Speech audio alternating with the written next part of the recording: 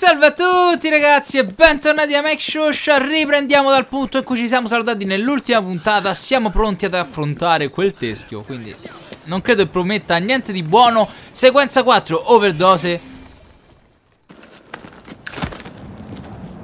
Signor Fry, confido che abbiate avuto un incontro produttivo con il signor Owen. Oh sì, abbiamo avuto una piacevole chiacchierata. Ho scoperto che dietro all'elisir lenitivo di Starrick c'è John Elliotson. Il dottor Elliotson? Non sentivo quel nome da molto tempo.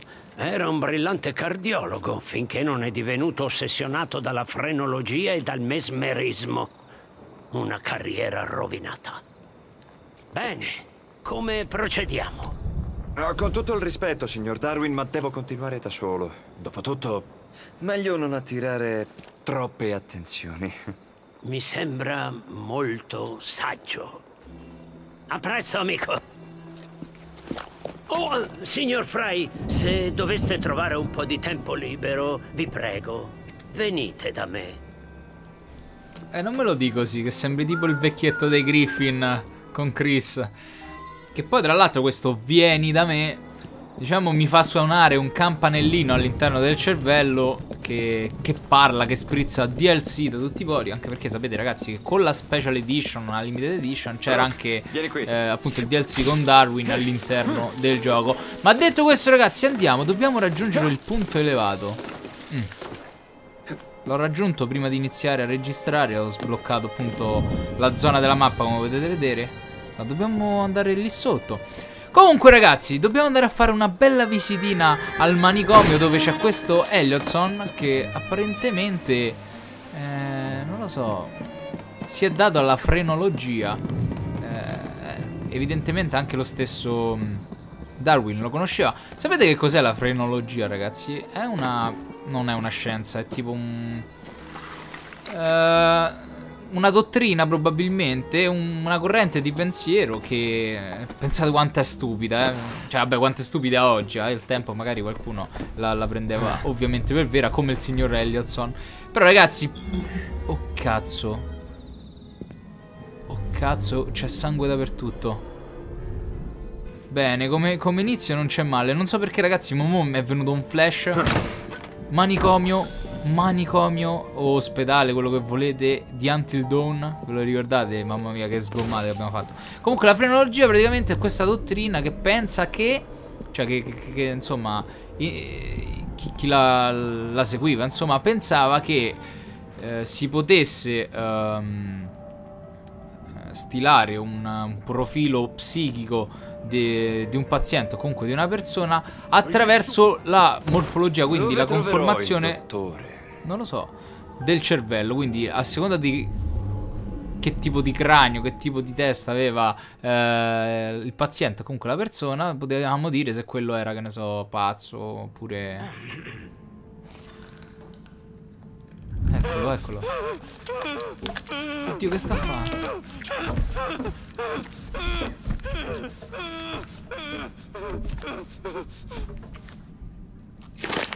Ah... Come avete potuto notare, a volte applicando un'eccessiva pressione si va incontro a risultati inattesi. Purtroppo l'organo si è rovinato. Eh. Dio ragazzi, non bene sta cosa. Eh? Portatemi un cadavere. Subito, dottor Elliotson.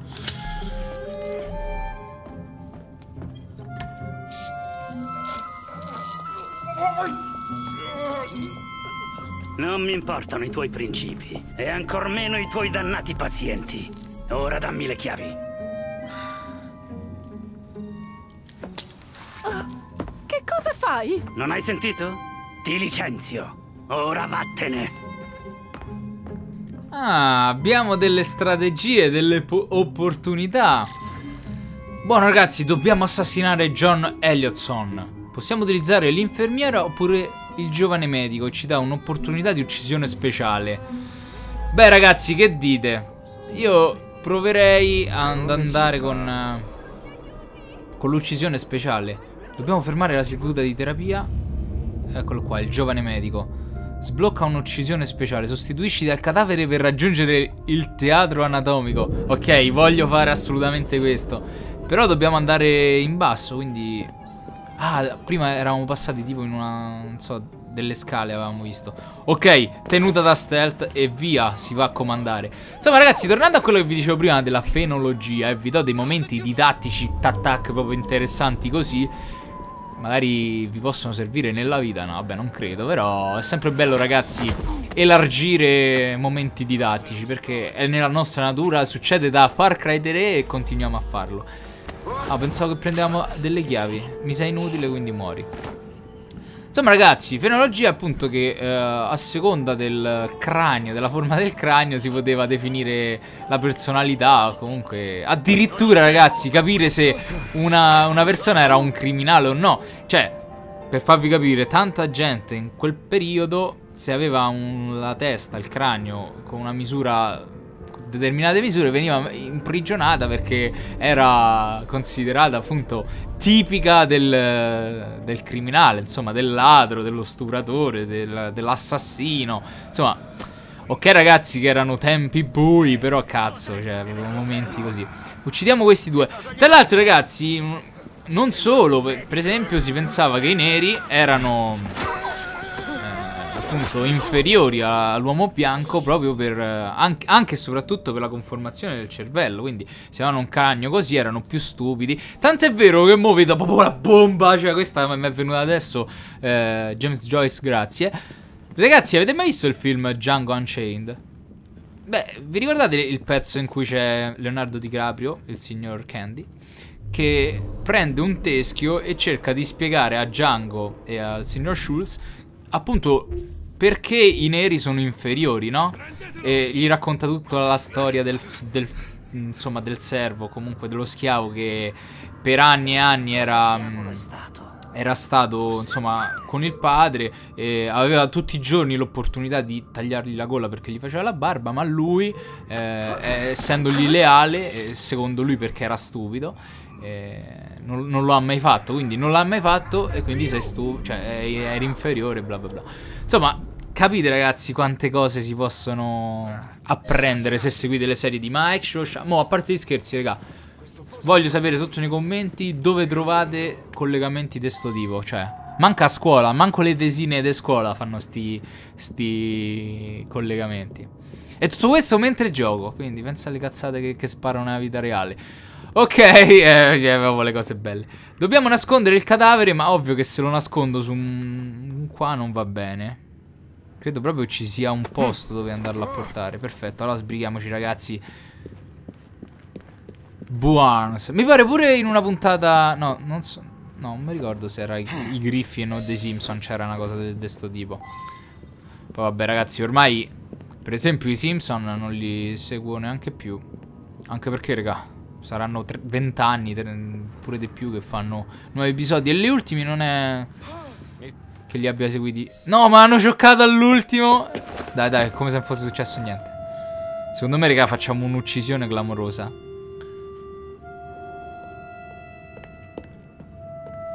Tutto regolare. Ah. Fatte le due domande. Se ci stanno degli stivali, no?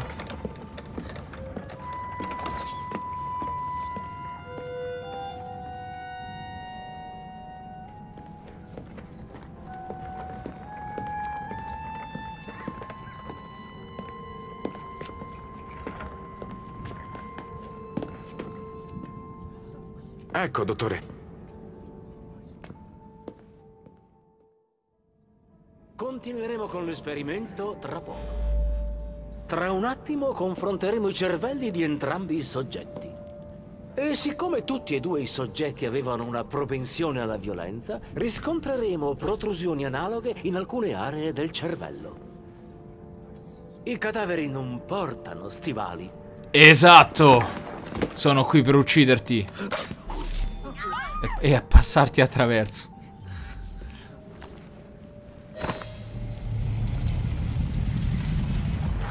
No, me la immaginavo però un po' più spettacolare. Così è finita. Eh già. Eppure penso al nuovo inizio. Un futuro migliore, scaturito dal sangue dei visionari. Io vedo solamente il sangue di un pazzo. Credi davvero che uccidere un vecchio fermerà il grande architetto del mondo?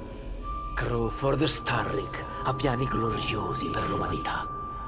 I piani possono essere cambiati. Sei un bambino. Un bambino che crede ancora di poter raddrizzare il mondo a colpi di spada. Non hai mai pensato alle conseguenze delle tue azioni, Jacob Fry?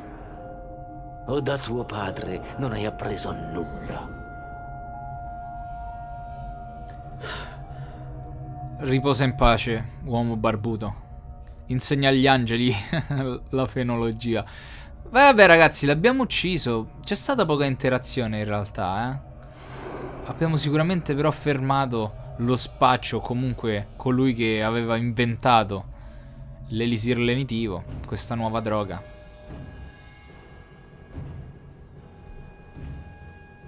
Vi vorrei parlare un po' anche del padre Aiuto, di... Aiuto! Oh, ci tocca scappare, fuggiamo. Magari ragazzi utilizzeremo la prossima puntata per parlare di questo. Però, eh, avete visto come spesso e volentieri viene buttato in mezzo il padre di Jacob e di Ivi? Eh, da quello che ho capito io leggendo, magari... Oh, porco due. Eh, vabbè. Caciara, ragazzi.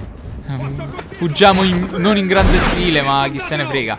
Dicevo, quello che sono riuscito io a capire è, è venuto meno in giovane età per tutti e due i gemelli. Però in tempo da insegnargli, insomma, eh, la retta via, comunque la via dell'assassino e del credo. E, ma soprattutto, ragazzi, il senso del dovere. Gli ho lanciato un coltello così a buffo. Vabbè, fuggiamo da qua, ragazzi. Magari l'approfondiremo nella prossima puntata. Adesso usciamo da qui. C'è bisogno di fuggire, scappare. Darsi.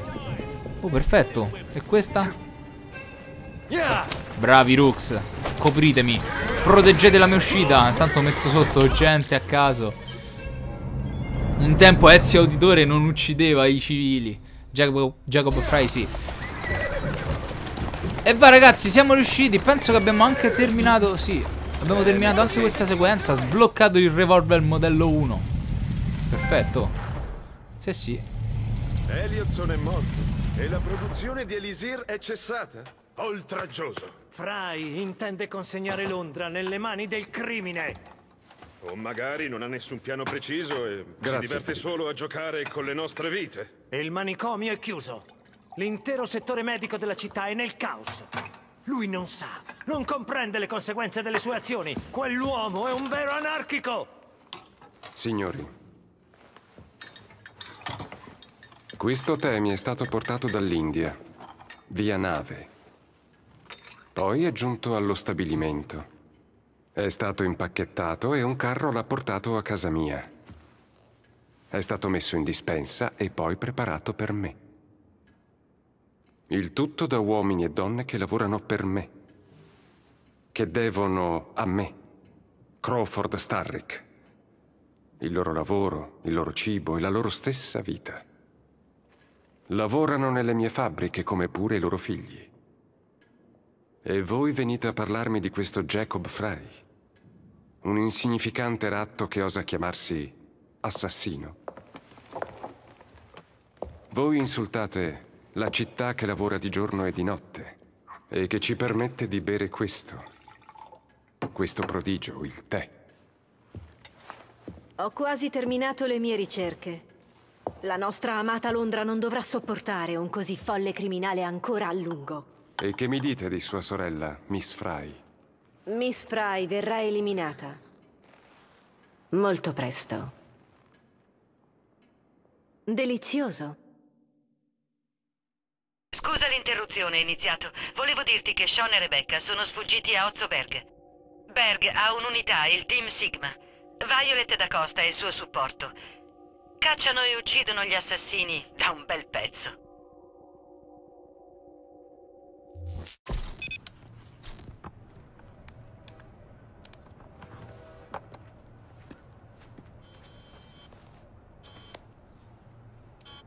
Per fortuna stai bene.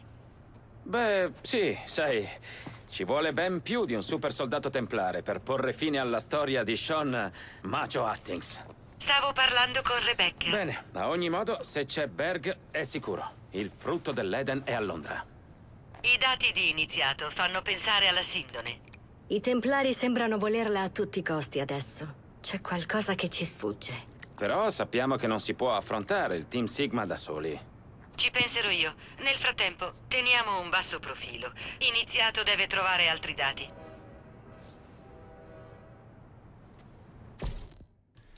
Vabbè ragazzi dai io direi che ci possiamo salutare qui per questa puntata. Abbiamo sentito che cosa sta succedendo nel presente. Abbiamo soprattutto avuto la prima vera interazione con uh, Starrick Che secondo me ha un carisma assurdo. È un hipsterone però ci piace. Per adesso ragazzi scopriremo di più nelle prossime puntate. Mi raccomando lasciate tanti commenti, lasciate tanti piace Fatemi sapere che ne pensate. Un saluto a tutti a Max Shosha Ciao ragazzi. Ciao